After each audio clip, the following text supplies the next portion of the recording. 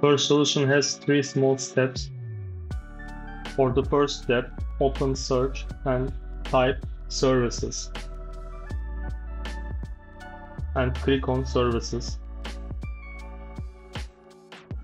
Find VGC service and right click on it. Click on properties. Select automatic from startup type. Click on start.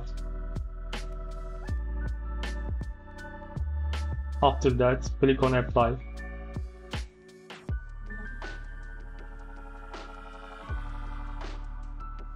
And then click on OK. First step is complete. We can close this window. For the second step, we open search again and type msconfig this time. Click on system configuration.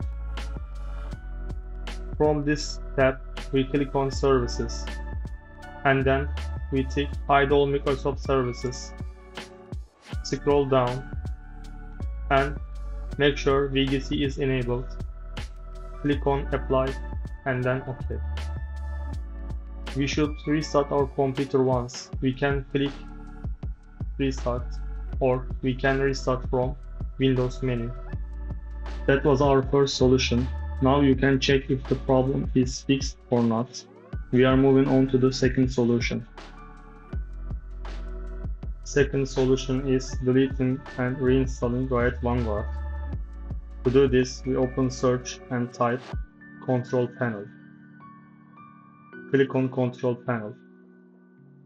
Click on uninstall a program under programs. Find Riot Vanguard. Right click on it and click on uninstall. Click on Yes in this window.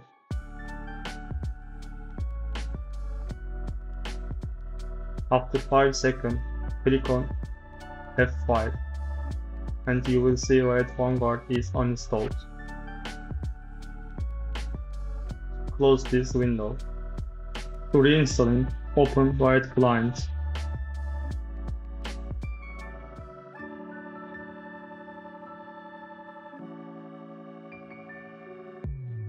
log into your account.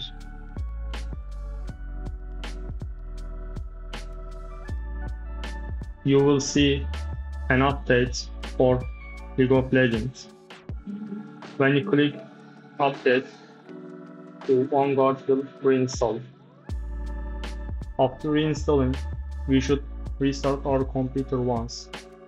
After that, Riot Vanguard will run without any problem. That's it. I hope this video fixed your problem. If the video helped you, please like the video and subscribe to the channel. See you in the next video.